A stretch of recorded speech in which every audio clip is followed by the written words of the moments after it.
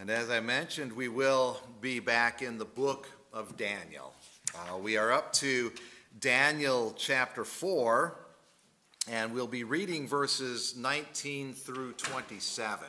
And we're kind of catching the story uh, midway through here. Nebuchadnezzar, uh, the king, has had uh, a vision.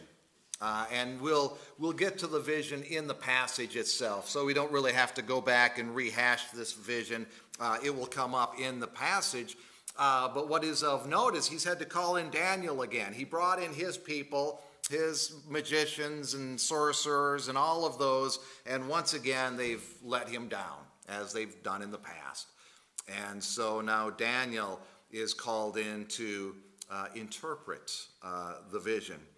And that's where we will pick up. It's Daniel uh, chapter 4, beginning at verse 19. And as I read this, I do want to remind you this is in the voice, actually, of uh, King Nebuchadnezzar. Uh, Daniel writes it, but he's writing it in the voice. Uh, so when we notice that uh, he calls him Belteshazzar, uh, it's because it's, it's Nebuchadnezzar who's narrating, if you will. Starting at verse 19. Then Daniel, whose name was Belteshazzar, was dismayed for a while, and his thoughts alarmed him. The king answered and said, Belteshazzar, let not the dream or the interpretation alarm you. Belteshazzar answered and said, My lord, may the dream be for those who hate you, and its interpretation for your enemies. The tree you saw, which grew and became strong so that its top reached to heaven, it was visible to the end of the whole earth, whose leaves were beautiful and its fruit abundant, and in, who, in, and in which was food for all, under which beasts of the field found shade, and in whose branches the birds of the heavens lived. It is you, O king, who have grown and become strong your greatness has grown and reaches to heaven, and your dominion to the ends of the earth. And because the king saw a watcher, a holy one, coming down from heaven and saying, Chop down the tree and destroy it, but leave the stump of its roots in the earth, bound with a band of iron and bronze in the tender grass of the field, and let him be wet with the dew of heaven, and let his portion be with the beasts of the field, till seven periods of time pass over him. This is the interpretation, O king. It is a decree of the Most High, which has come upon my lord the king, that you shall be driven from among men and your dwelling shall be with the beasts of the field. You shall be made to eat grass like an ox, and you shall be wet with the dew of heaven. And seven periods of time shall pass over you till you know that the Most High rules the kingdom of men and gives it to whom he will. And as it was commanded to leave the stump of the roots of the tree, your kingdom shall be confirmed for you from the time that you know that heaven rules. Therefore, O king, let my counsel be acceptable to you. Break off your sins by practicing righteousness and your iniquities by showing mercy to the oppressed, that there may perhaps be a lengthening of your prosperity the word of the Lord. Let's pray. Heavenly Father, we thank you for your word. We thank you for your truth. We thank you for speaking into our hearts. And Lord, as we look at this passage, we pray that you will speak it loudly in our hearts, that we will know you better and be strengthened in you. We pray this in Jesus' name. Amen. Well, several years ago, I uh, worked at a window factory, and I may have mentioned that to some people. And I worked swing shift, and there was a, a guy that I had known for years, and from elementary school, we, we uh, graduated together. Uh, he lived a couple blocks away. His name was Tom. And uh, I would give him a ride when we worked on the same shift. Uh, he, he worked some weird shifts once in a while, but uh, but I would give him a ride, and a really enjoyable guy. And as long as I'd known him, he's the most calm, coolest guy you'd ever meet. Nothing is a big deal. Things could be falling down all over the place, and Tom would shrug his shoulders and just kind of move on, not really worried about it. He'll figure it out. We'll, we'll get by. One of those guys, very pleasant to be around. He, I, I mean this all in a good way.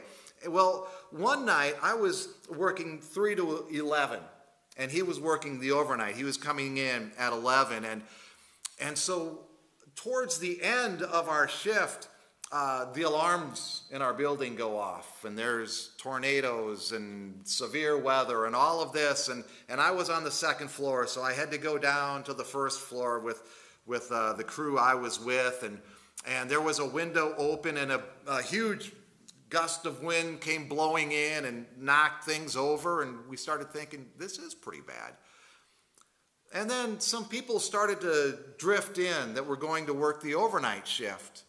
And we would ask them, how, how is it out there? And we were just getting bad reports. It's terrible.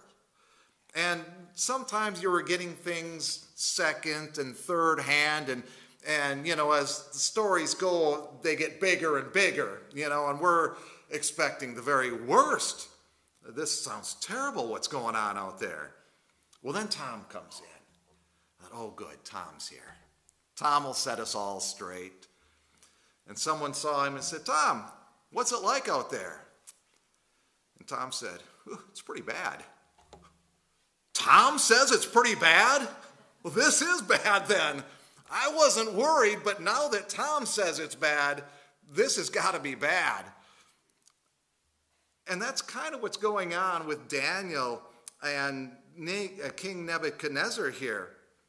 Daniel, as we have seen, he's the coolest, calmest guy. He doesn't really get rattled by anything. Nebuchadnezzar does things, it doesn't rattle Daniel at all. And, and I could put Daniel's friends in Shadrach, Meshach, and Abednego. Uh, the king can threaten them, the king can try to make them do things. They don't care. They're always cool and calm, collected. They know God's in control and they're fully focused on God.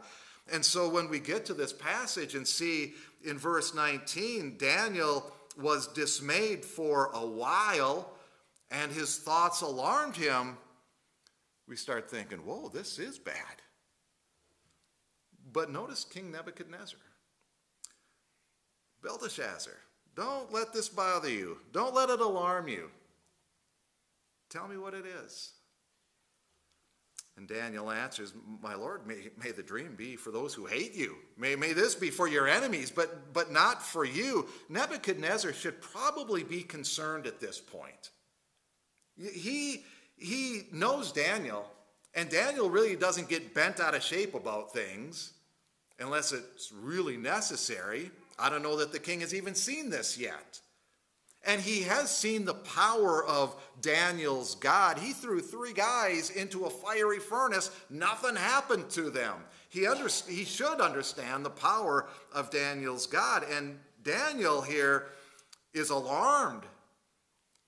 And in a bit of role reversal, the king is trying to comfort Daniel. Daniel, just tell me what it is.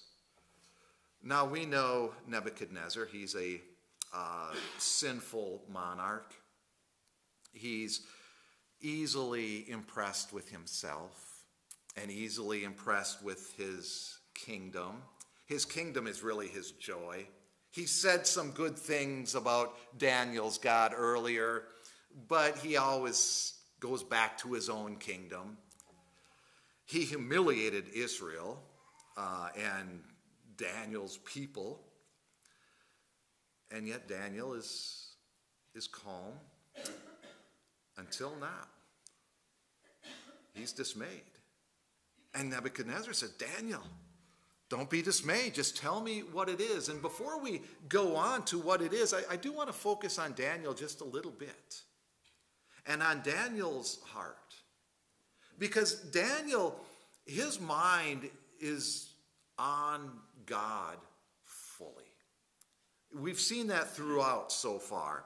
God centered. And he's a prayerful man. There was hints of that earlier, and we especially see it when you move on to chapter 6, verse 10. He prays three times a day, and that seems to be his routine. He does this all the time, a prayerful man. And we can see that his life and his approach to other people, even the king, is highly influenced by his devotion to God. That he's God centered and prayerful. And we imagine praying for other people, even the king. He's full of compassion. And we see that. We've seen that throughout, we see it here as well. He's full of compassion. He does follow uh, some of the social customs by saying, King, may this be for your enemies. That was something you would say to a king. King, may you live, but let this be for your enemies. But he is completely faithful to God, and at the same time is faithful to King Nebuchadnezzar. He's not going to lie to him. And in fact, he's going to try to encourage him, even through this. Daniel reverently fearful of God, but caringly fearful for the king. And those two go hand in hand. And we'll consider Daniel's heart a little bit more later on.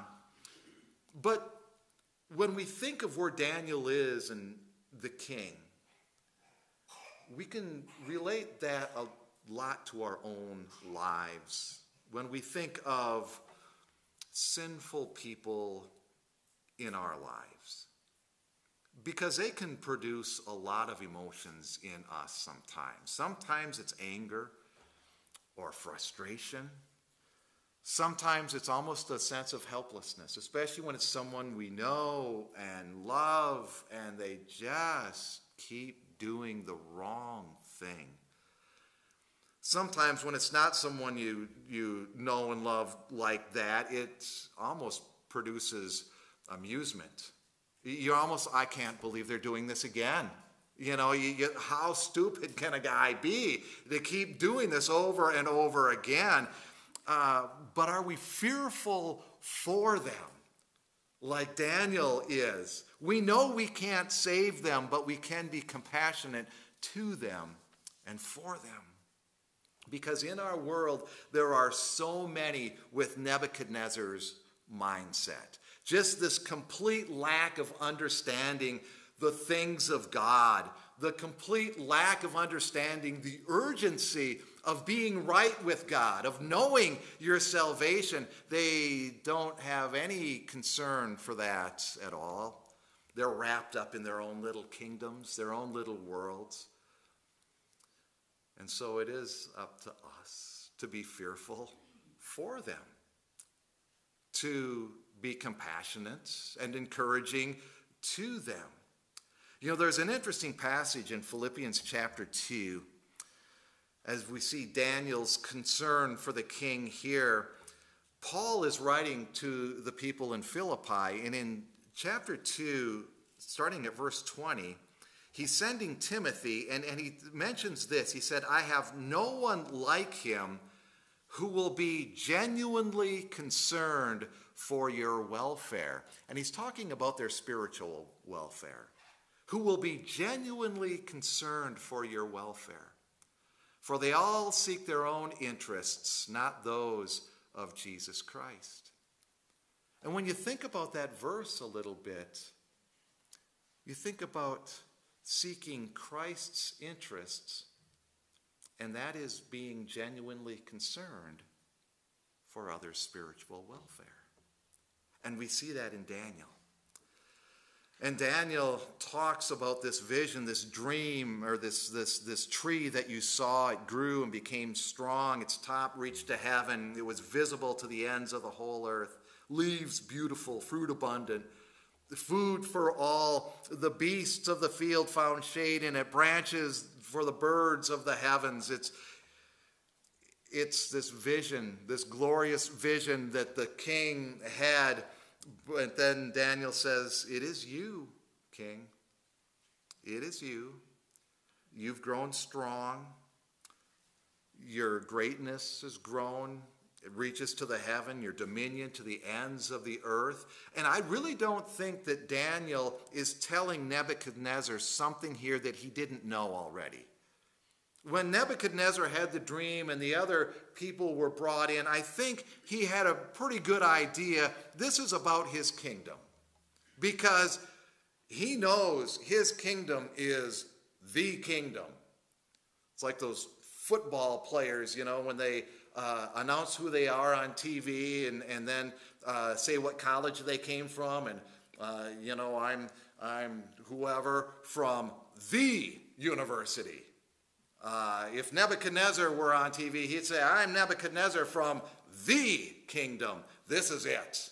This is the one that matters. And Nebuchadnezzar knows that. And on a purely earthly, uh, man centered level, um, and we've been here with Nebuchadnezzar before, what more can be accomplished by him? He's got everything, and he knows that. And he's got resources for just about any problem that comes up. And I think that explains a little bit of his insensitivity to this vision that he's having. Even when Daniel is concerned and he's not, he has this attitude don't worry, Daniel, I'll figure it out. I've got the resources. He, he's a man's man, isn't he? That's, a, that's like a, something a man says right there. Don't worry, I'll figure it out. And that's where Nebuchadnezzar's at. But on an actual level, on a God centered level, does he really have the resources to confront this? Is he really prepared for this? You know, sadly, I remember reading, and this was years ago, uh, many of you remember Timothy McVeigh, who blew up that federal building in Oklahoma City and, and was sentenced to death. And I remember reading an article, and a fellow prisoner uh, came up to him, started asking him about things and, and kind of confessing things to Timothy uh, McVeigh. And, and, and he never really admitted to any wrongdoing at all. And then this, uh, in, according to this article, this, this prisoner asked him, well, but what happens when you die? There, you're going to die in a few days. And what happens in the afterlife when you have to face this? And I'm paraphrasing here, but McVeigh's reply was, I'll adjust, I'll adapt, I'll figure it out. It's too late. You can't adjust or adapt. Your time is now to confess this. But Nebuchadnezzar has that attitude I'll figure it out. And when we ponder the sovereignty of God, you know, this, this this book of Daniel is, is the early part and even the last part is, is really highlighting the sovereignty of God and his kingdom. And we think of the sovereignty of God, and we'll mention the sovereignty of God sometimes, but, but sometimes not to make light of it, but sometimes we treat it almost the way we think of your refrigerator keeping something cold you know, we know that it does, but we just take it for granted. You know, we open the refrigerator, we pull something out, it's cold, and we say, well, yeah, that's what a refrigerator does. Until that day when you reach in and you grab something and it's not cold, and then your eyes are open and you're like, whoa, wait a minute. I was kind of depending on this. And that's how the sovereignty of God is. Sometimes we just kind of let it pass. We, yeah, He's sovereign, we know that, and we move on with our day. We don't really think about it, but every now and then our eyes have to get opened and we say, oh, wait, I'm kind of depending on God's sovereignty. And sometimes it does us good to really consider that. He created all things, He is the cause of all things. It's not that He can do all things, that he does all things. He's sovereign over everything. And Daniel knows that and is concerned for Nebuchadnezzar.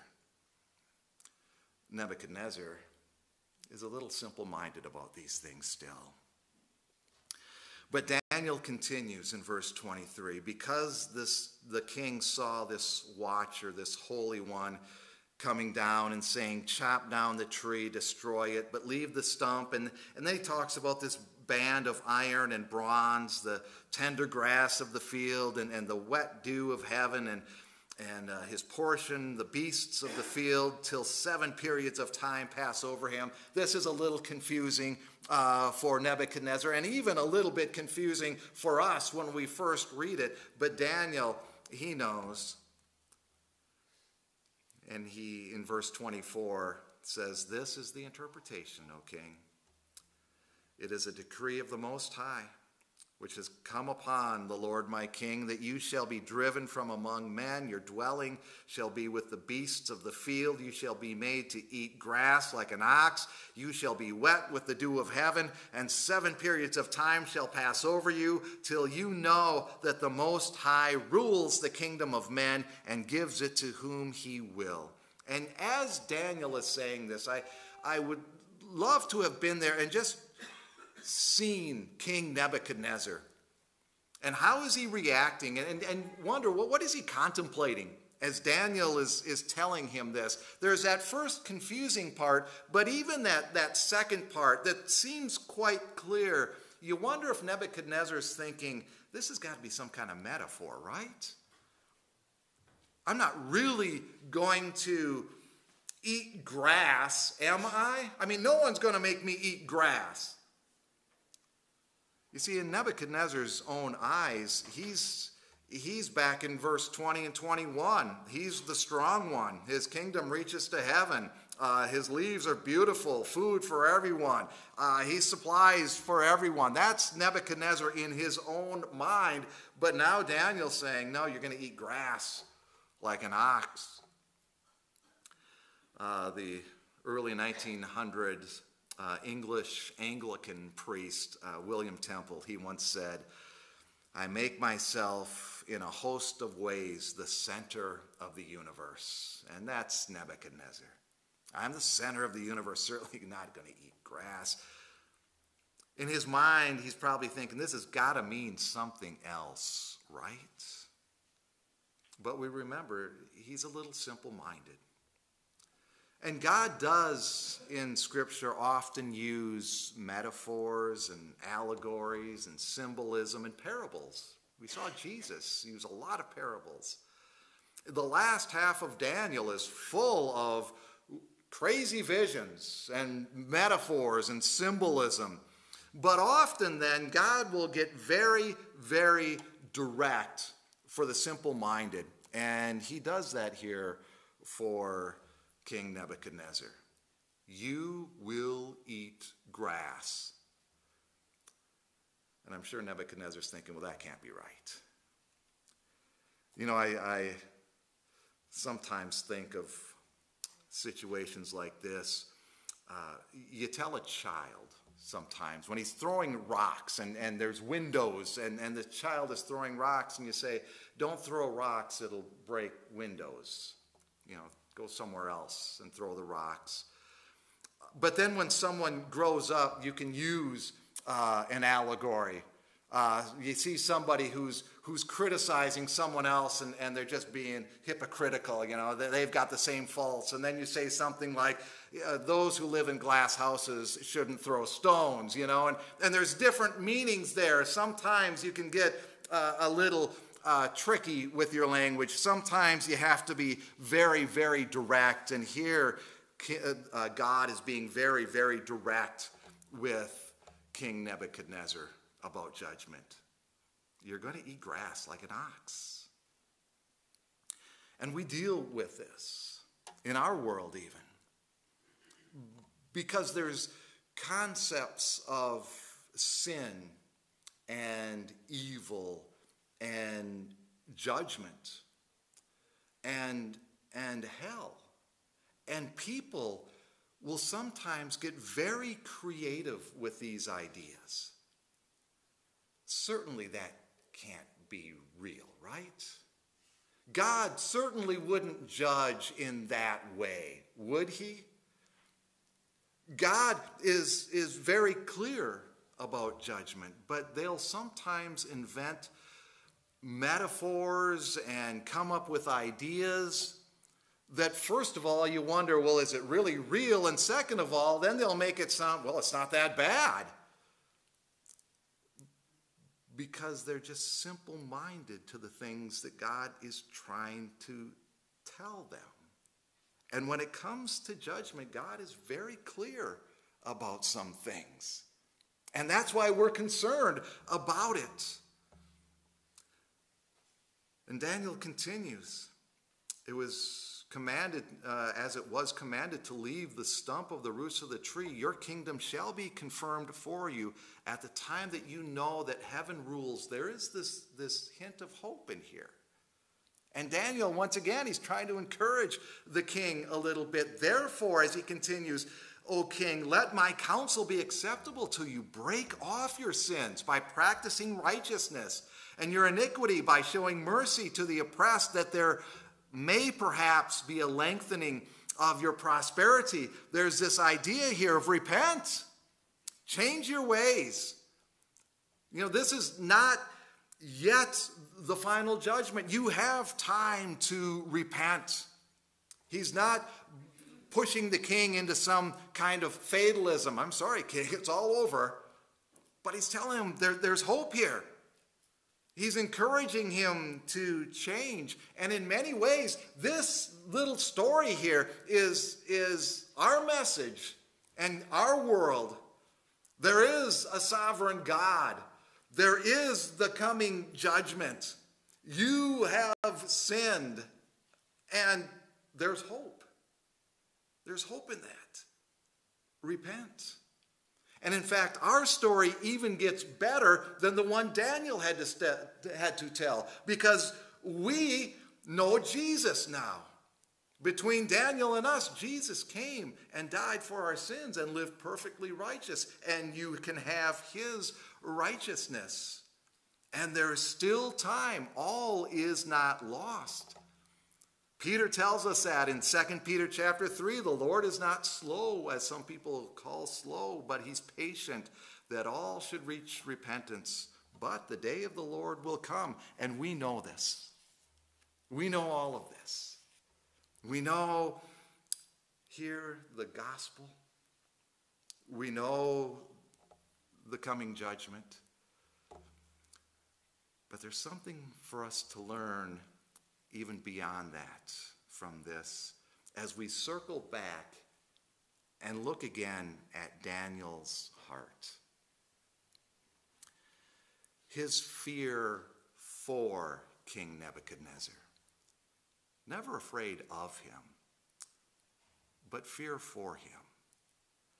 Daniel, as a loyal man of God, a prayerful man of God, has this compassion for him. And we saw that with Jesus when we read the Gospels. Compassion, but also his grief at people's sins. Uh, in fact, in, in Mark chapter 3, when Jesus was healing on the Sabbath, uh, and, and they were wondering, they were waiting for him because they wanted to attack. And so he, he looked around and said, he looked at them with anger, and then it says, grieved at their hardness of heart. Their hardness of heart grieved him. We see it in Paul. One of the places in is in 2 Corinthians chapter 12, where Paul writes, I may have to mourn over many of those who sinned earlier and have not repented. And Paul is saying, I have to mourn over those people. You know, we mourn over our own sins. And, and we're grieved at our own sins. But how about the sins of others? Does that cause us to grieve? And do we mourn for them? We can get angry with them as I mentioned. We can get frustrated with them. But here's the thing we know the danger, we know judgment, and they just don't know that yet. We also know that we can't save them. But like Daniel, we can encourage them. We can tell them the truth. And at this time of year, especially, when we're in this Christmas season and there is more talk of God and this baby Jesus, I always like to make it a part of my prayer life to pray and even grieve and mourn for someone or maybe a few people who I know just don't know the danger they're in. Have the attitude of Nebuchadnezzar. It'll be okay. I'll figure it out when the time comes. But to make it a part of our prayer life, to pray for them. Paul in Philippians chapter 1 you know, he's always praying for these people he writes to. I pray for you all the time. I, I think of you continually. I bring you always before God. In Philippians chapter 1, he writes to them, It is my prayer that your love may abound more and more with knowledge and all discernment, that you may approve what is excellent and so be pure and blameless in the day of Christ. He knows that day is coming, and he keeps praying for their purity and their holiness. And I think that's a good prayer for us to have. Grieve over our loved ones' sins and pray heartily for them. And if we can revisit that verse in 2 Peter that I mentioned earlier, and I want to read the whole verse. The, the Lord is not slow to fulfill his promise, as some count slowness, but is patient toward you, not wishing that any should perish, but that all should reach repentance. And if it's that important to God, it should be important to us. Not wishing that any should perish, but that they should reach repentance. So we pray like it's important because it is important.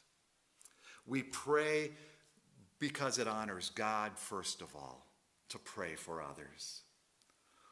But also,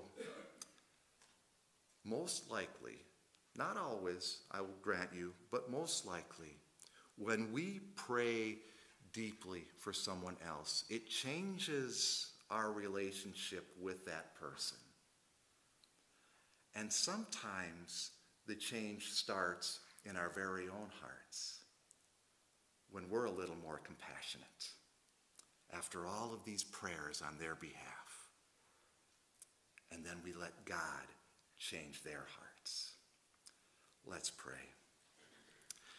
Our Heavenly Father, we do thank you that your Holy Spirit has spoken your truth into our hearts, that we know Jesus and the salvation we have, that we know there is a day of judgment, and it will be horrible for those who do not repent. And Lord, we think of those who haven't. We think of those who seem to have no care of standing before you, Lord, and we cry out for them that you will change their hearts. Help us in our words and our actions to encourage them and to show them your truth that they may believe and give you praise and worship you for eternity, Lord, being snatched from the fire and brought into your heavenly kingdom. Lord, we pray these prayers with great hope and great confidence because we know you are the sovereign God who can do all things. We pray this in Jesus' name.